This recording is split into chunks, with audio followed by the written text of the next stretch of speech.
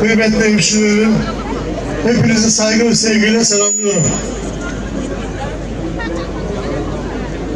Alnının terini fındık bahçesine akıtan, gecenin bir yarısı bir bismillah diyerek, diyerek rızkı için denize açılan, oradan bere, bereket fışkırtan, o bereketle çoluğuna ve çocuğuna bakan, rızkını çıkaran, haram ve yalandan korkan, kalbinde vatan, millet ve Atatürk sevgisiyle dolu olan güzel Akçı Hoca'nın yiğit ve mert insanları. Hepiniz hoş geldiniz.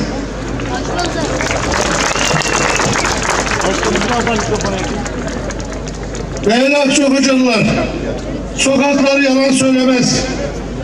Vatandaşlarımız Fikret Albayrak diyor. Cumhuriyet Halk Partisi diyor.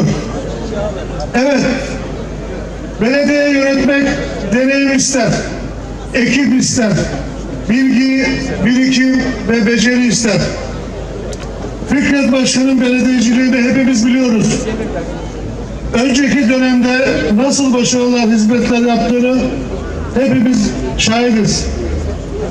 Akçakoca Belediyesi şeffaf olacak. Alnı açık, başı dik bir belediye başkanımız olacak. Tasarruf yapan fakat hizmetten geri kalmayan bir belediye olacak.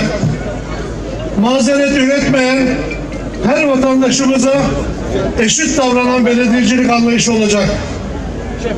Kısacası Fikret Albayrak kazanacak, Akçakoca yeniden parlayacak.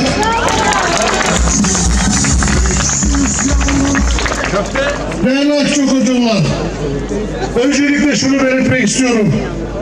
Diyorlar ya, merkezi hükümetle yerel yönetimler aynı partiden olmazsa hizmet gelmez. Garip kalır diyorlar. Yalan söylüyorlar.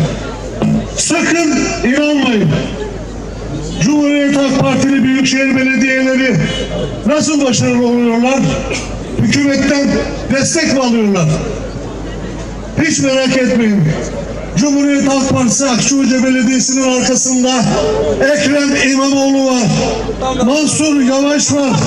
Tanju Özcan var. Dürüstlüğümüz var. Enerjimiz var. Liyakatlı oluşumuz var. Kul hakkını koruyan bir belediyecilik anlayışımız var.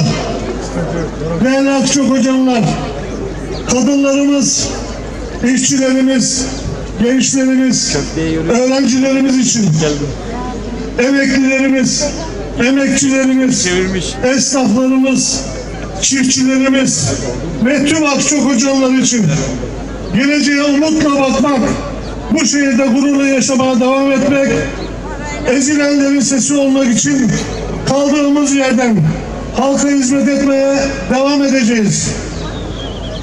Bu güzel şehirde doğamızı bozmadan mavi bayraklarımızı tekrar kazanarak tertemiz bir Akçakoca'da hak ettiğimiz şekilde yaşamak istiyoruz.